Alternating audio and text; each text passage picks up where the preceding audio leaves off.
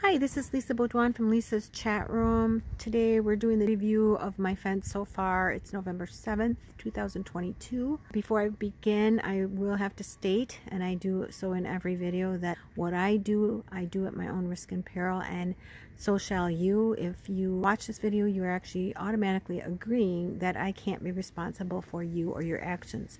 That's first thing. Second thing, when putting up a fence, I recommend that you check with your permit office in your city and make sure that you have a permit. I do have my permit and it was a little costly, but it is worth it.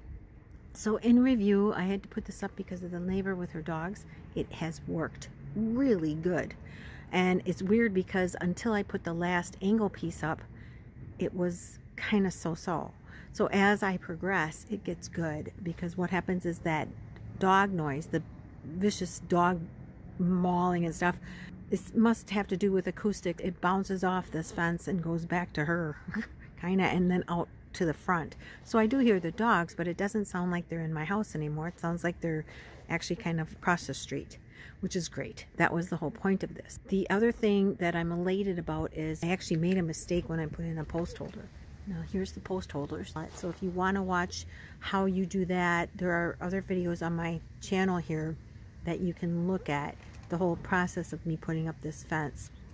I had made a mistake and how I got it out was just using a car jack which I'm elated because if this neighbor moves or maybe someday the new neighbors if there's new neighbors they decide to put up a fence of their own well guess what? I can take this down. Or if I sell this house and the people that buy my house would have 10 dogs and they'd get along great then they could take this down. So that's great. I, it's great news and actually I'm elated about that because that means I could always use these fence pieces in my backyard as well for whatever I want anyway point is is I can only go six foot to there. And then I had to come down 30 inches. Now, if you're looking at that little tiny post there, actually it's a little shorter than 30 inches. Now, I'm going to tell you my plans, but I just wanted to first show you this is how far I've gotten. So I decided to just level it down and it took me two times to do that and it's not easy and you're seeing shadows under the fence so it's pretty close to the same as these, honest. I've done what I can and you can see the boards are coming up and they are meeting.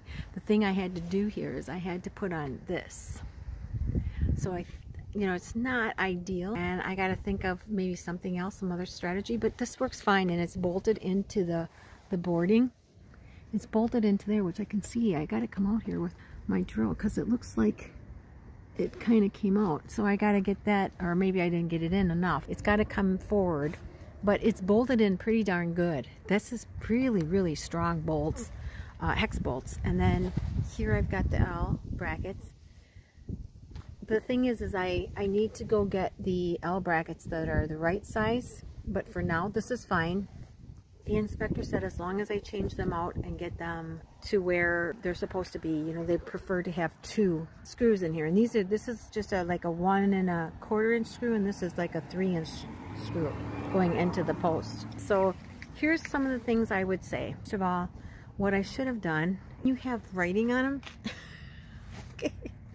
First of all, watch your posts and turn them around so you don't have to look at that writing okay or at least turn the right side up I didn't look also to these you know I was in a hurry to get this up so I didn't take and clean these like I would have cleaned these had I taken my time the bolts are working really, really well. I think that other one, it's not loose. I think I just didn't get it in far enough. So that's one of the things. The second thing is it's difficult to use these post holders because the way I did it, I did it one at a time because I cut these. I literally cut the fence like here, here, and here to move them here because I'm 60 and they're heavy. I had to do it one at a time. If I would have done it over, I would have run a line a pre-line before I started this because these things are like angled and so there's the bottom is very small and then it gets wider I would have had a line going this way on some spikes and as I went I'd keep the line but I would just move the spikes over You know what I'm saying? I think you do. You just would tie another line here and take the longer line off. But you'd keep spiking it so that they are completely straight because that was one of the most stressful things is what happens if it's not straight. So, but because I had to take that one post out, and I think it was this one, I now know that I can take them all out. So I can take them out I could use these in the backyard if I wanted to, if these neighbors move again, or if someone buys my house, then they could take them out. Totally up to them. Now, so here's the angle. The plan for next year is first of all to finish this piece off here because this needs this needs a piece here. And then I can go up to here, 48 inches. I can run a lattice, can do fencing 30 inches, and then lattice the extra 18 inches. And that's what I'm gonna do. So I'll probably start about here. And the lattice will run going this way you know kind of like a rectangle but going down. It'll run this way and then the fence regular fence will be underneath it. But that's my plan is to finish this off. But I think you know and the funny thing is he did say he goes you know you did a pretty good job. Now that last post is very very crooked.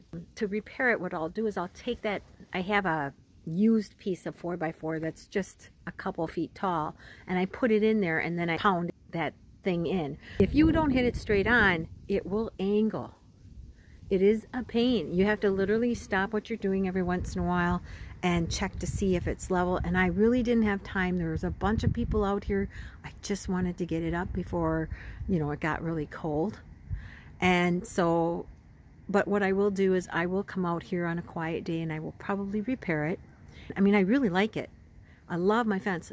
My issue is I don't have much room in my driveway and now the squirrels and the animals get on here which means they get on my car it they could get on my car so I will put up some kind of squirrel guard on the top and here. And I was going to have lights hang here. There's just not enough room. This is a very thin, thin driveway. So I can barely get out of my car now as it is. That's what makes me so angry about this. It's like I've spent quite a bit of money. The last video should tell you how much this cost me. I think right now it's, well, each one is about 55 to $60 each panel. Each one of these is somewhere right under 20. And then of course the screws, the hex screws and the L brackets and these brackets. And these brackets I got at Home Depot, by the way, if you're wondering. I got them at Home Depot. I got these at Home Depot. The fence and the posts I got at Menards because it was cheaper. That's it's the end of the video here. Please stay safe, stay healthy, and I'll see you again next time in Lisa's chat room.